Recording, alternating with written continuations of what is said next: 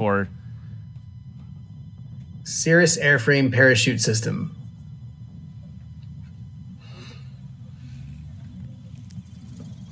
Nice landing Nice. for Chase there. Yeah. Oh, keep that tail down. All right. Sub 200 foot landing. Now, these airplanes.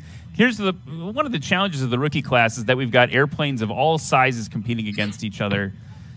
Uh, but you're going to start to see some shorter distances with these lighter airplanes. Great organization, super helpful. They've been hosting us and taking care of us.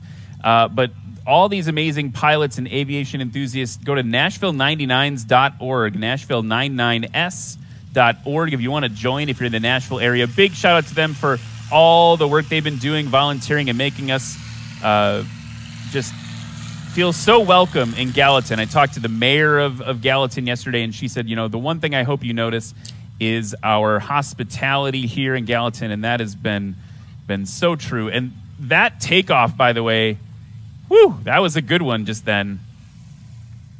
In that 182.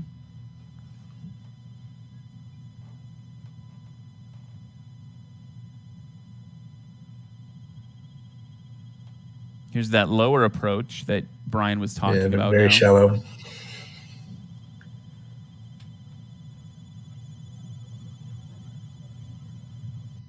Chase Bentley in the 1952 Cessna 170.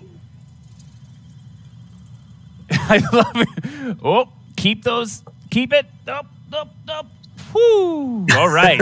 Stop short. So, I mean, what you're hearing us react to is that you can tell when the tail starts to come up, the pilot's got to modulate off those brakes to keep the tail from going all the way over. And they're counteracting that with full elevator control again to keep that tail down. It gets it's a balancing act. It's definitely a balancing act and it can be a little exciting, especially when we don't have a ton of wind over the nose of the aircraft.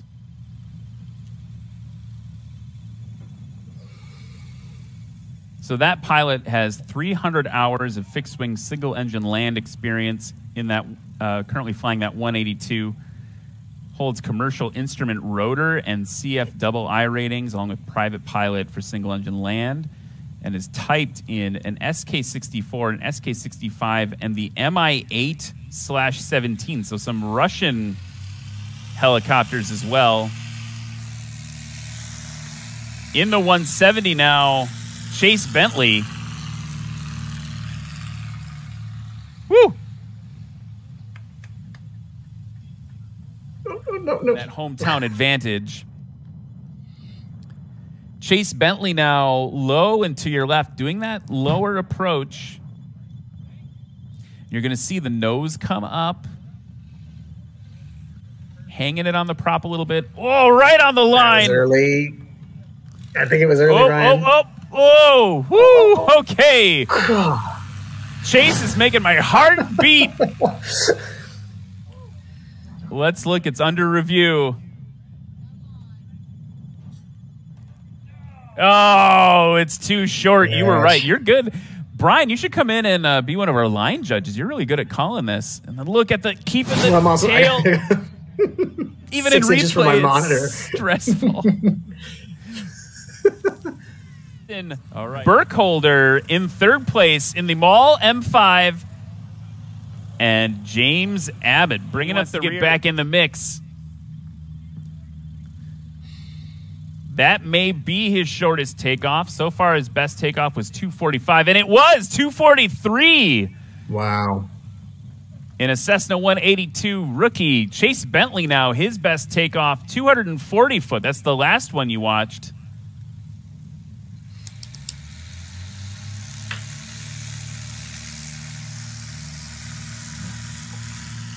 Getting that tail up.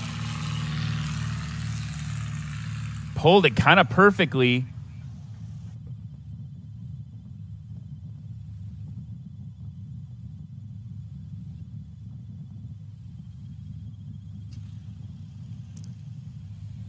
waiting for the score. Yep, 231. So that was Chase Bentley's best run. Okay. Things are getting exciting in the fourth and final run of the rookie class.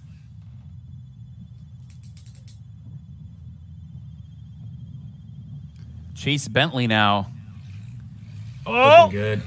oh, Lexi's calling it good, but that's going to be a longer landing for him because he didn't even stop. You got to stop. Always stop. Even if it's not a good one, you got to stop because that helps you enter into our most consistent award. So now, unfortunately, uh, Chase, even though he's currently the lead of the rookie class, will not be able to be considered for the most consistent prize at the end of the day. It was good, though, after review. Hard that is. Let's look at the Sarasota Avionics and Maintenance results for here at Music City STOL in the rookie class. Unofficial results Chase Bentley now, best run, 469. Dan Donahue with 515. Tightening it up. Tightening it up. Tightening it up there. James Abbott, 588 and Justin Burkholder in the Maule with 606 combined. That's your rookie class here at Music City STOL in Gallatin, Tennessee.